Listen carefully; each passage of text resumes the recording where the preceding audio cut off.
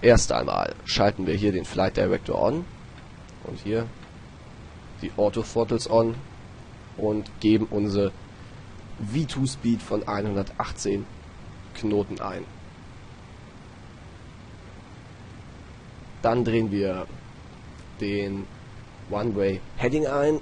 Der ist 81 Grad. Und das machen wir hier auch beim Kurs Selector auf 81 Grad. Das war jetzt unintelligent, die falsche Richtung zu drehen.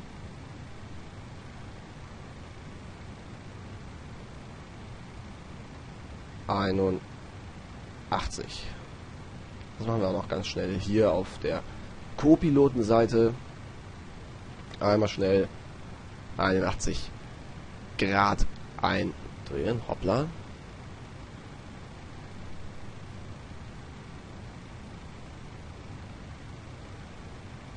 Set. Jetzt drücken wir diese beiden Knöpfe hier im FS-Panel und bekommen damit zwei weitere Anzeigen in unserem PFD im Primary Flight Display. Dann schalten wir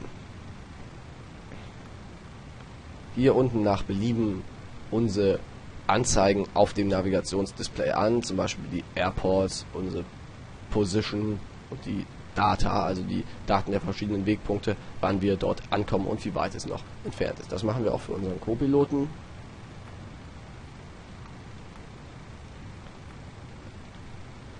Jetzt schalten wir hier noch die Auto Brake auf RTO.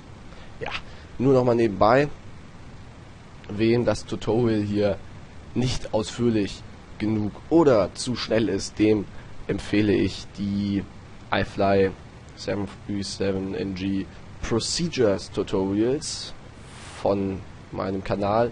Dort sind die einzelnen Schritte genauer und langsamer erklärt.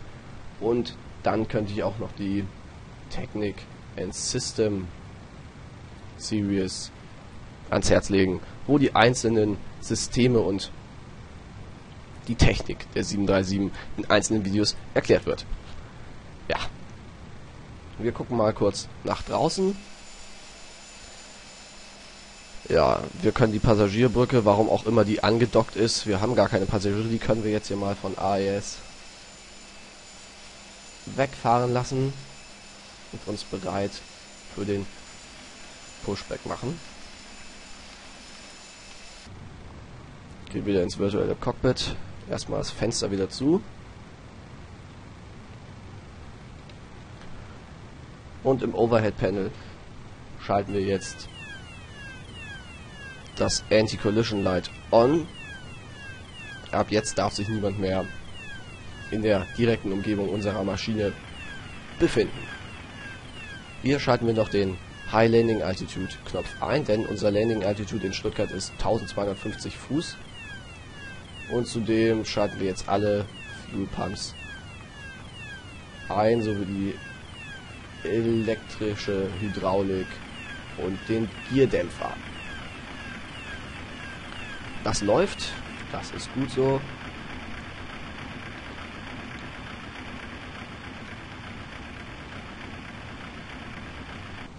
checken hier nochmal, ob hier wirklich alle Schalter zu sind. Die Alternate Flaps. Das alles in der Normal Position ist. On. Alles aus, alles aus. Das ist korrekt. Dann legen wir hier die zwei Beat-Schalter in die On-Position. Master Caution durchdrücken. Die Tür wird geschlossen.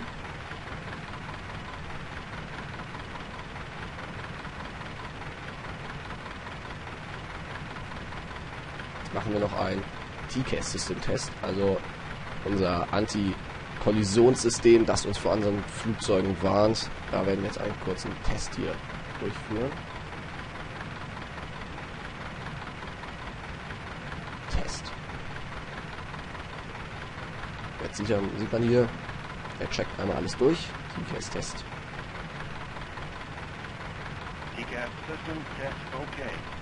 Alles in Ordnung. Dann wechseln wir einmal auf die rechte Seite von unserem Co-Piloten und gucken hier unten einmal hin, wo wir jetzt einen System-Test durchführen.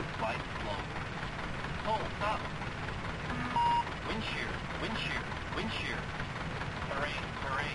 Hold up. Think rate. Hold up. Don't think. Too low, terrain. Too low, gear. Too low, flat. Light slope. Bank angle, bank angle. Ja, das läuft. Der hat jetzt alle Notfallstimmen, die eben eingeblendet werden in den verschiedenen Situationen, wie zum Beispiel, wenn Scherwände auftreten, wir ein dem Boden zu nahe kommen.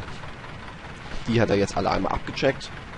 Und dann sind wir auch jetzt bereit zum Rollen. Da ich dem Standard ATC nicht wirklich vertraue, gucke ich lieber einmal nochmal nach hinten, ob wir da sicher rausgepusht werden können. Ja, alles klar. Dann starten wir den Pushback nach links. Brakes released. Okay, starting pushback. Jetzt werden wir hier rausgeschoben aus unserer Position und können, wenn uns der freundliche Mitarbeiter am Boden dazu auffordert, die Engines starten. Wir werden zuerst das Triebwerk 2 starten. Warten wir noch auf die Stimme. Da ist sie. Also ins Overhead Panel.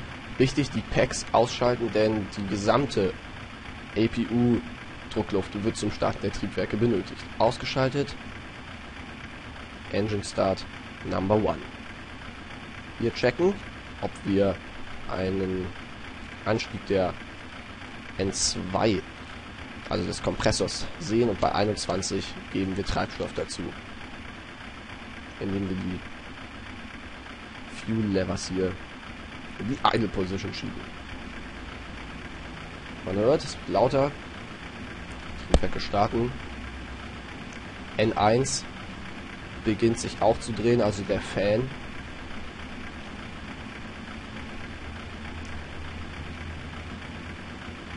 Und jetzt ist hier der Starter zurückgesprungen. Dann legen wir ihn in die Continue Position und schalten Triebwerk 2 ein.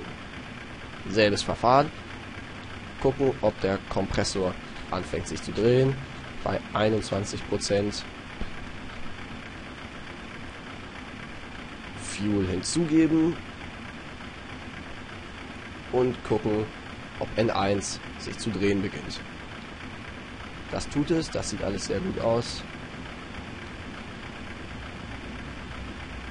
Wieder ins Overhead Panel warten, bis dieser Switch hier in die Off-Position springt, um ihn dann nach rechts in die Continue Stellung zu setzen. Jetzt schalten wir die Generatoren ein, die Packs wieder ein und die APU aus. Genauso wie die Bleed hier. Dann schalten wir das Ringlicht ein, den Propede, die Anti-Ice und das Taxi Light. Jetzt drücken wir hier einmal auf diesen Button und sehen jetzt hier unsere Ruder und machen jetzt einen kleinen Check, indem wir unseren Joke bewegen. Einmal nach links. Hier müssen wir gucken, ob das alles sachgemäß funktioniert. Einmal zu uns ranziehen.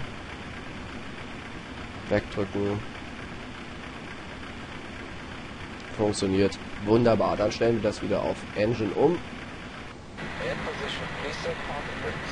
Ja, Packung wird gesetzt. Und warten jetzt, bis wir bereit zum Rollen auf die 08 Left sind. Eins habe ich noch vergessen, wie ich gerade sehe. Wichtig hier das Altitude auf 5000 stellen, also auf die Transition Altitude.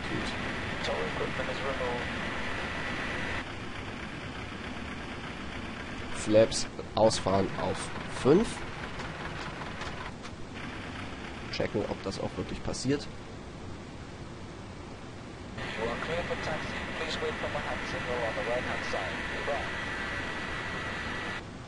Jo, wir sind ready for taxi. Warten jetzt hier noch auf das Zeichen des Commanders. Des Marschallers. Wo ist er denn?